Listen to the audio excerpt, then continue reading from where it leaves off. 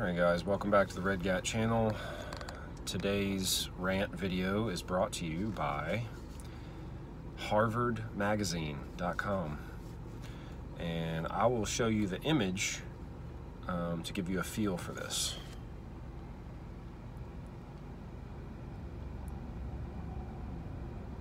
Risks of homeschooling, which by the way, it's April 2020. You'll notice the date. And that's on the website. I mean, I printed this, but it's it shows that date on the website. Okay, this article really ticked me off, and uh, you're, you're going to find out why pretty quick. I'm going to skim through it and read a few passages. So the reporter, I guess, whatever, is interviewing this lady named Elizabeth Bartholet. If I'm pronouncing that right, I don't really care at this point. Elizabeth Bartholet, um, public interest professor of law and faculty director of the law school's child advocacy program, sees risks for children and society in homeschooling. Really?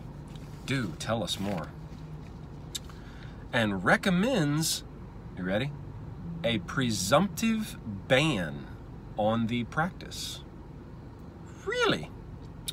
Homeschooling, she says, not only violates children's right to a meaningful education and their right to be protected from potential child abuse, but may keep them from contributing positively to a democratic society. This lady doesn't even know that we live in a representative republic. She says this more than once, by the way. We're going to continue reading because uh, it gets better from here. But we'll get back to that in a minute. We have an essentially unregulated regime in the area of homeschooling, she asserts. I'm not even going to respond to that yet because it gets a lot better from here.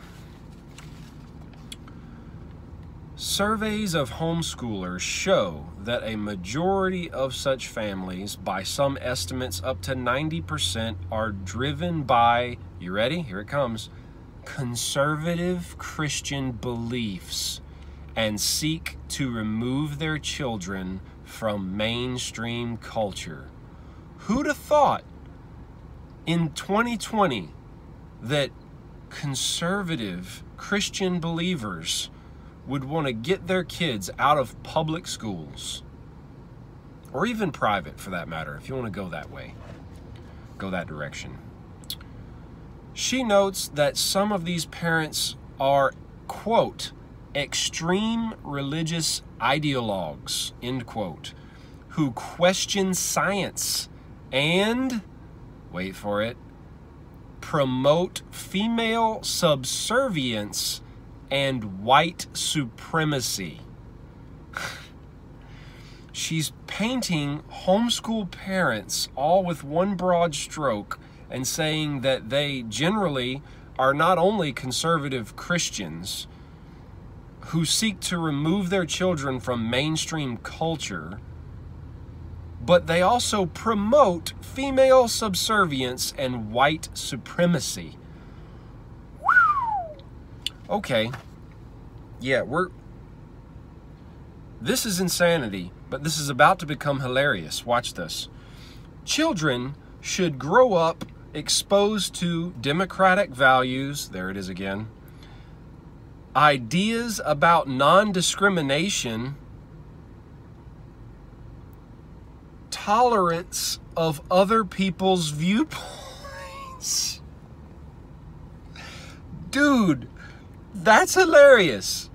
Like, this lady is obviously anti Christian an anti-conservative, right? Which puts her in the liberal perspective of things. But she's going to preach to us about, you know, if if we're if I'm the demographic, right? Uh about non-discrimination? You mean like how you discriminate against Christian bakers for not wanting to bake a cake? You mean the the ideological beliefs that white men are the problem with our society? You mean like so these cons anyway, okay. Yeah, all right, that was hilarious. Let's continue. From the beginning of compulsory education in this country, we have thought of the government as having some right to educate the children so that they become active, productive participants in the larger societies. Wait, let me finish. This involves in part giving children the knowledge, the knowledge to eventually get jobs and support themselves. You mean like how most public schools have now eliminated shop class? yeah, you're really helping us out there, champ. Okay. I'm trying to make this quicker than it is. I'm already running long. The issue is do we think that parents should have 24 7 essentially author- authoritarian control over their children from ages 0 to 18? I think that is dangerous. End quote. It's dangerous for parents to have control over their children. You heard that? Yeah. Gee, it sounds almost like she wants the government to control our children from the cradle to the grave. What ideology likes those notions? We'll get back to that in a minute. Let me finish this quote, this paragraph quote, I think it's always dangerous to put powerful people in charge of the powerless and give and to give the powerful ones total authority? What? You mean like the public school system having total power over all the children? You mean like when the public school boards have teachers removed forcefully by the police from town hall school board meetings because they're asking questions and making statements like, you know, the whole point of having town hall meetings and school board meetings is to where the parents, the teachers, the public can express their opinions so, but it's okay if those authoritarian powers have power over your children while you're not around. And they also have power over the parents, apparently, here lately. All right, let, I got to wrap this up because I have to read some other stuff in a moment. I think an overwhelming majority of legislators and American people if they looked at the situation, would conclude that something ought to be done. Yeah, because obviously we don't want to have parents having control of their children. Sick freak. All right. I'm trying to do this fast, but I have some quotes here for you I want to read, and then I want you to guess who the author is and what ideology that author comes from. You ready? Let's go. First one. The state must declare the child to be the most precious treasure of the people, as long as the government is perceived as working for the benefit of the children, the people will happily endure almost any curtailment of liberty and almost any deprivation. Number two, when an opponent declares, quote, I will not come over to your side, end quote, I calmly say, your child belongs to us already. What are you? You will pass on. Your descendants, however, now stand in the new camp.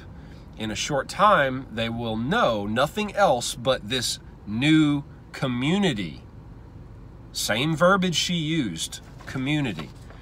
Number three, if the older generation cannot get accustomed to us, we shall take their children away from them and rear them as needful. Oh, really? Okay. Number four, it is not the task. Well, I'm sorry. Let me stop there. Those first three, would you care to guess the author? It's Adolf Hitler, in case you didn't already pick that up. Sound familiar? Sounds a lot like what she was saying. All right, let's read this one. It is not the task of an elementary school to impart a multiplicity of knowledge for the personal use of the individual. It has to develop and harness all physical and all mental powers of the youth for the service of the people and the state. The only subject that has any place in school curriculum is that which is necessary to achieve this aim. All other subjects springing up from obsolete educational ideas must be discarded. And if you'd like to know where that came from, that was a Nazi directive on elementary education circa 1940. Google it. One more quote. Give me just one generation of youth, and I'll transform the whole world. Care to guess? That would be Vladimir Lenin. And if you don't know who that is, I am appalled. And you need to fix yourself desperately. Google Vladimir Lenin and then tell me what Nazi is actually the abbreviation for. Two pieces of homework assignment. Do that, get back with me, comment, share below. Have a blessed day.